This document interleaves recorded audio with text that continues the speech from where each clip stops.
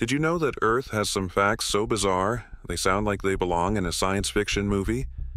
From floating islands to mountains made of diamonds, today we're diving into 10 mind blowing facts about Earth that sound fake, but are 100% true. Stick around, you won't believe number 5. Let's jump in. Fact number 1 Let's kick things off with the core of our planet. Did you know that Earth's inner core is as hot as the surface of the Sun? We're talking about temperatures reaching 9,000 degrees Fahrenheit, 5,000 degrees Celsius, yet even with all this heat, it remains solid because of the immense pressure. Just imagine how hot Earth's center really is. Fact number two. Next up, Antarctica might sound like a frozen wasteland, but it has active volcanoes. Beneath its icy surface lies a volcanic region that's still erupting today.